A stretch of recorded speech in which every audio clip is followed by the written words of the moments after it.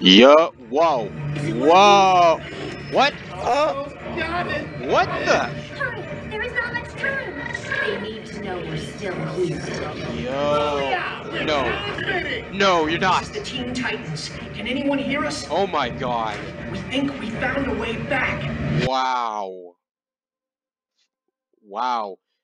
First is Young Justice and now the original Teen Titans.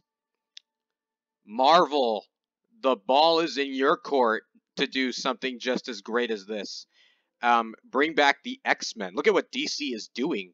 They're bringing back older shows and giving the fans what they want. DC actually found a way to make people not hate them anymore.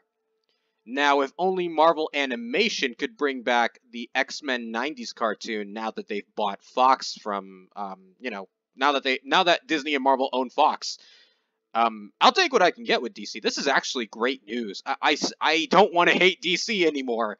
Uh, for a while, they've been something of a, they've had their pros and cons, mostly cons, but now, I can't believe this is real. I can't believe I'm living in a time where this is real again.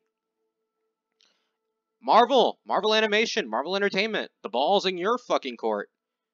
Outdo this or give me something just as good. Bring back the 90s animated Spider-Man, bring back the 90s animated X-Men.